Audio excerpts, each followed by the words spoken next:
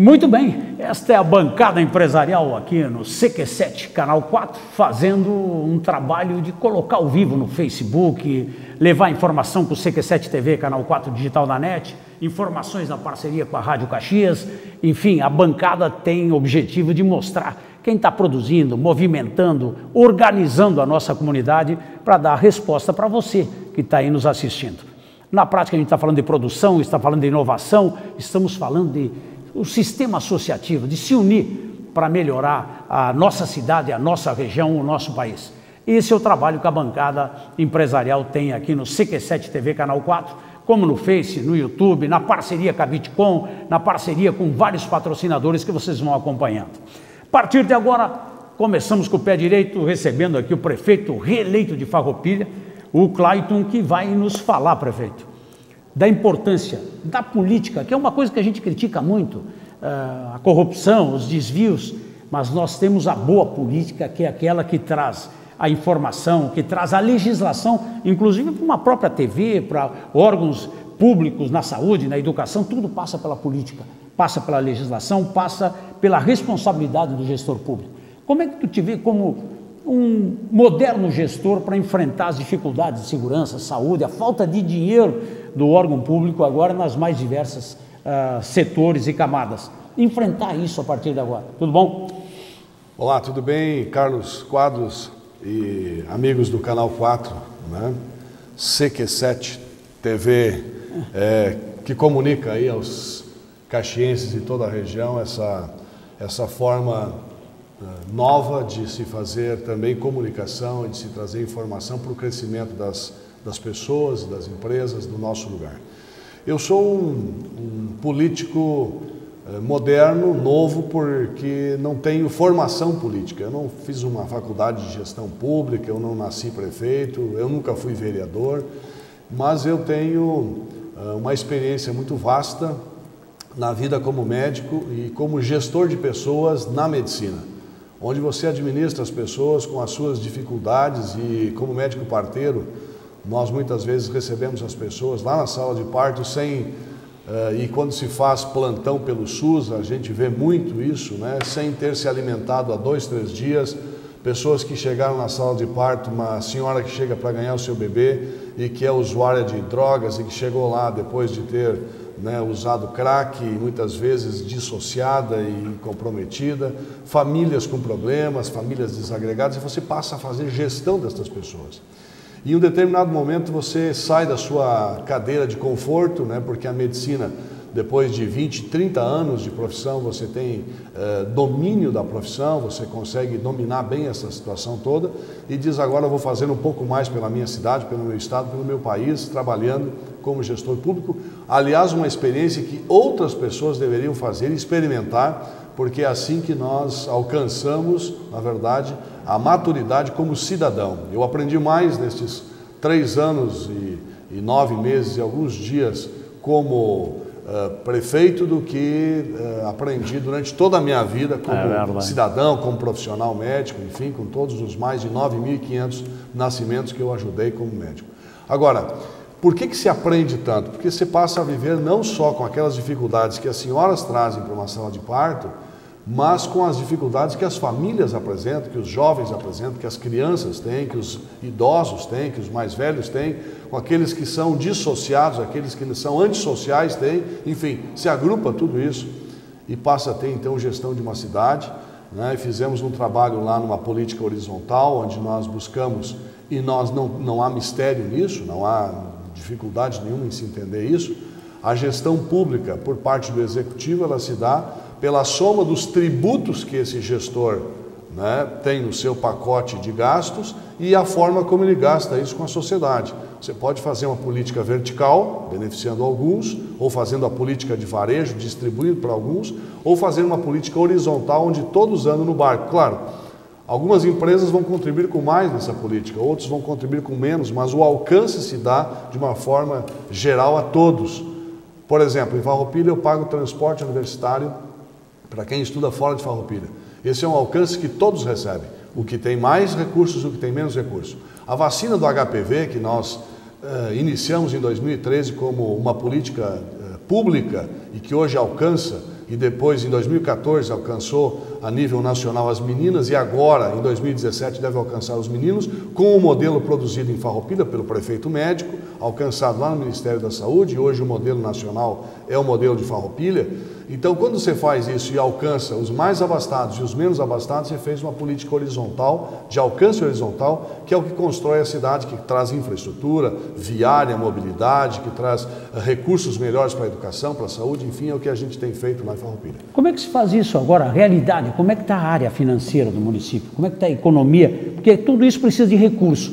Como é que a gente faz isso? Ah, a arrecadação, ela está está mais ou menos dentro da previsão, mesmo com a queda na economia brasileira toda, total, e aqui na nossa região em alguns casos. Como é que está a realidade em Farroupilha? Na verdade, assim, Carlos e amigos, né, é, nós estamos vivendo uma realidade instalada já há muitos anos. Né? Uma, instala, uma realidade instalada há mais de 20 anos nas nossas cidades, eu falo das nossas cidades, falo de todas as cidades da Serra, com algumas pequenas exceções, por mudança, ah, até no projeto de eh, executivo, como é o caso, por exemplo, da Prefeitura de Carlos Barbosa. Mas as demais cidades, todas nós apresentamos um déficit muito grande na arrecadação por conta de não prestarmos valor né, à necessidade de se fazer uma arrecadação justa e isso trazer uma política para a cidade também de forma mais justa. Né?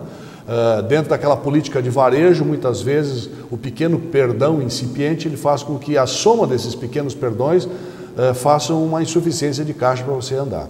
Nós temos assim que avançar muito nessa questão e isso é um resgate que não se dá de forma imediata, ele é um resgate paulatino, mas hoje nós diríamos que a arrecadação no município de Farroupilha ela é insuficiente para a grandeza da cidade. Nós arrecadamos hoje para administrar uma cidade uh, de 30 mil habitantes e não de 70 mil habitantes como nós temos lá. Temos um PIB uh, eh, valoroso de 2 bilhões e meio de reais, o que dá uma renda per capita de quase 3 mil reais por habitante por mês. Uh, mas isso distribuído não de uma forma muito equilibrada, porque nós temos uma cidade muito rica em empreendimentos, temos uma cidade de empreendedores, né, onde realmente a distribuição não se dá de forma equilibrada. Por isso que a política horizontal é importante, porque uh, mistura né, esses recursos das pessoas que têm mais com aqueles que, das que têm menos e faz a política andar junto. Mas nós estamos vivendo ainda um resquício desta política antiga, desse modo antigo de ver as coisas, e precisamos avançar muito nos próximos dois, três, quatro, cinco anos.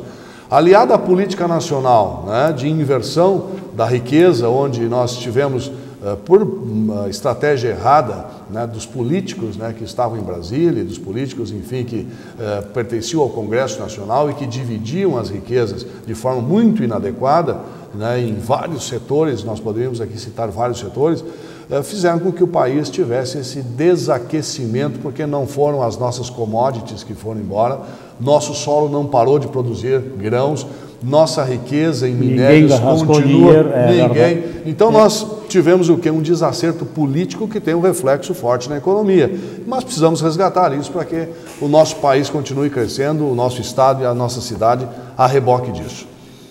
Qual é a base produtiva de Farroupilha? O que, que se produz em Farroupilha? Qual é os grandes modos, até para a gente passar, já que a bancada empresarial tem o objetivo de mostrar a economia, principalmente? Farroupilha é uma cidade uh, com uma economia muito diversificada. Ela tem uma economia na base agrícola, do agronegócio, que representa 11% da economia de Farroupilha, é uma economia muito forte, principalmente calcada na fruticultura, né, nas uvas ainda, uva moscato, nós somos o maior produtor de uva moscato do Brasil, ou seja, produzimos 51% de toda a produção de uva moscato do Brasil, ou seja, todo o resto do país produz 49%, nós estamos adiante.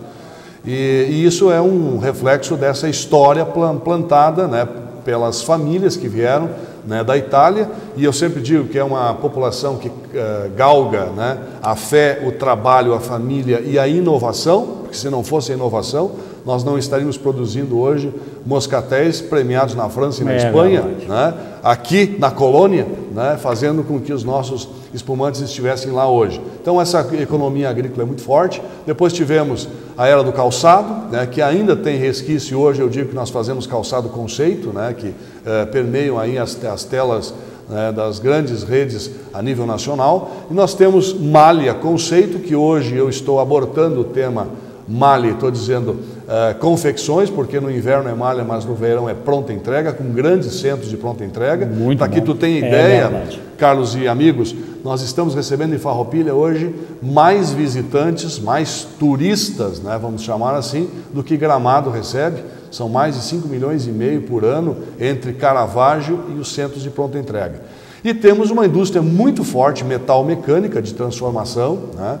e um polo plástico de transformação também muito importante. Então, é uma economia diversificada, com alguns resquícios ainda na indústria moveleira né, e na indústria eh, de transformação eh, de, de, produtos né, do, do agronegócio, que permite que a gente tenha também alguma, algum resquício também de tributação nesse, nessa área. Mas é uma indústria muito diversificada, uma economia muito diversificada, e graças a isso nós enfrentamos de forma saudável a é, crise, é, mesmo arrecadando menos, nós temos lá, por exemplo, o 13 terceiro do funcionalismo pago 40% em agosto Muito e vamos bom. fechar o ano em azul né, na questão uh, da administração pública de Farroupilha. Incentivo. Aqui a gente está brigando muito, Caxias também tem uma questão muito, muito séria nisso. Ah, tem muita indústria, tem muitas empresas, não precisa incentivar. Mas a gente sabe que às vezes às vezes não, sempre, não é dinheiro, a gente precisa de estrutura que a prefeitura dê condições para a gente implantar, a cuidar das empresas que a gente já tem, para depois buscar incentivo e trazer de fora economias, principalmente, ou matriz uh, empresarial que a gente não tem uh, normalmente dentro dessa linha que tu elencou aqui de agronegócio, malha, metal mecânico, enfim. O que, que tu está fazendo nessa área? De que maneira eu, como empreendedor, chego na prefeitura de Farroupilha e digo, Clayton, o que, que tu tem para me oferecer? O que, que eu posso te ajudar e receber, fazer uma parceria?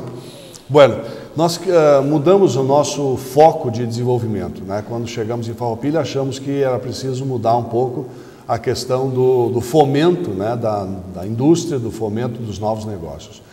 Uh, aplaudimos muito né, o movimento do Sistema S das escolas de formação, principalmente da presença do Instituto Federal em Farroupilha, que tem sido um adjuvante importante na formação de força de trabalho, de novas inteligências produtivas na cidade.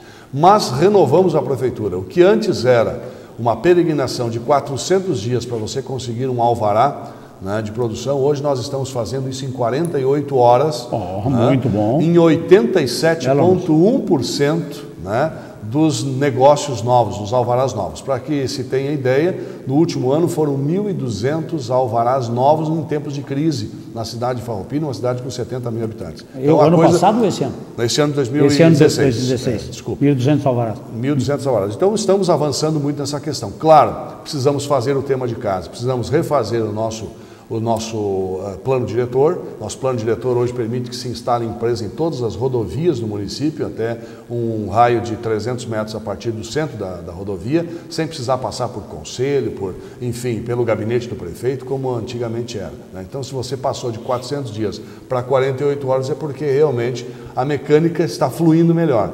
Além disso, criamos o Inova Farroupilha, que é uma aproximação das telas né, de confecção de um alvará. Ah, passando pelo meio ambiente, pelas obras, pelas finanças, para a gente ter essa integração de forma muito mais rápida. Criamos o marco zero da construção civil para que se divorcie o alvará do empreendimento. Ou seja, hoje qualquer lugar é possível que se produza desde que ele não tenha lá impacto de vizinhança e um impacto ambiental né, que eh, mexa com a estrutura da cidade. Então essas pequenas ações elas fizeram com que se avançasse.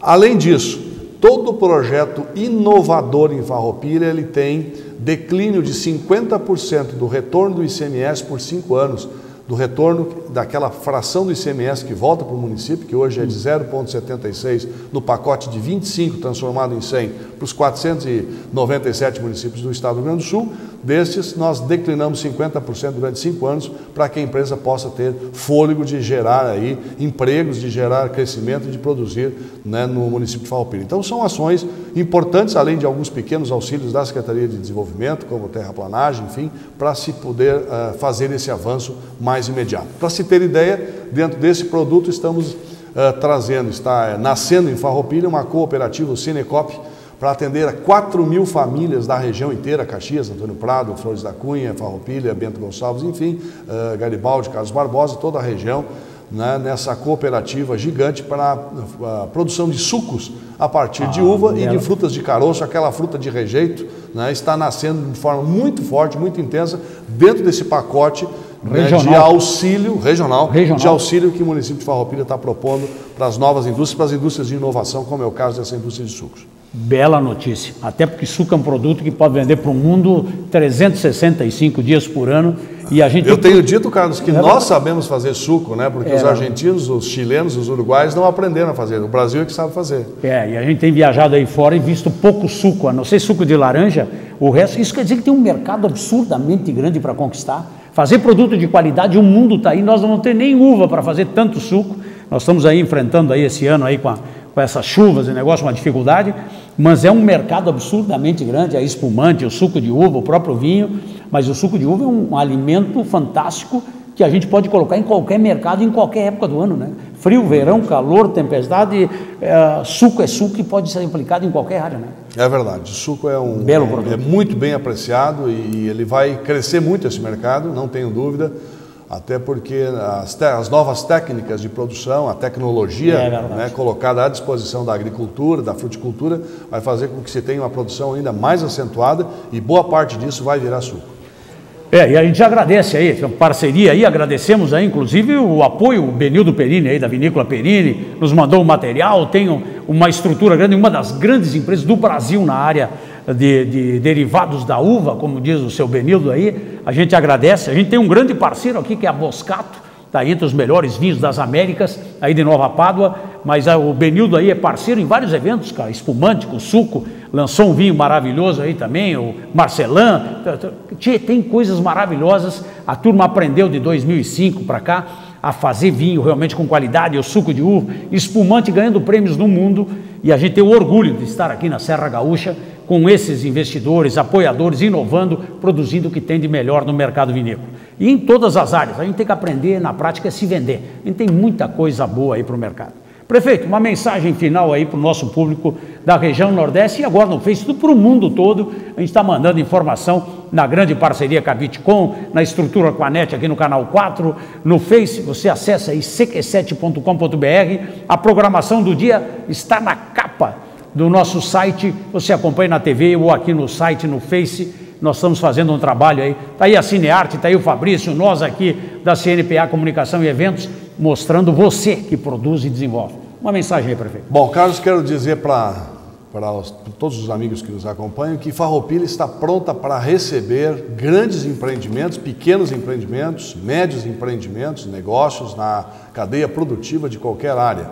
Nós temos hoje na Serra Gaúcha a melhor área para se instalar numa empresa, que é essa área onde seria ou teria sido instalado o aeroporto e que não foi instalado, que está dentro do município de Farroupilha, né, toda essa linha né, de, divisa, de, divisa, entre Caxias do Sul e Farroupilha. É uma área plana, com uh, apps quase não existentes, né, é uma área uh, com energia elétrica, com rede de gás e uma área que ainda carece de uma instalação de uma rede de, de água né, suficiente, estamos cobrando isso da Corsã, mas se não for com a Corsã, nós acabaremos adiante tendo uma solução caseira também para esse assunto, mas é uma área pronta para receber empreendimentos, plana, né, fácil instalação e com alguns loteamentos já instalados aí.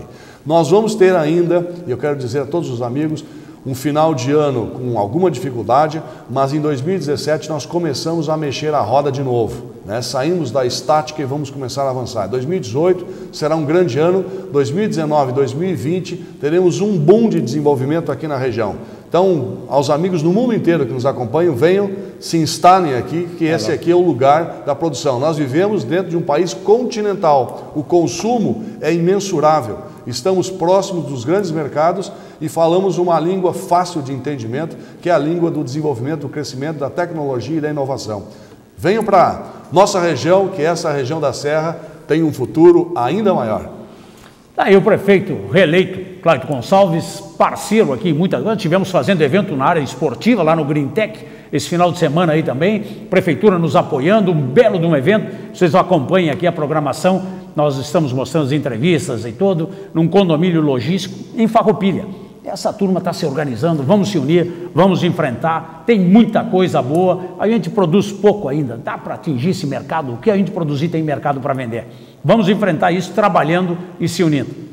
Acompanhe a programação nossa no Face, no site, no YouTube. O mundo tem que conhecer o que a gente está fazendo aqui.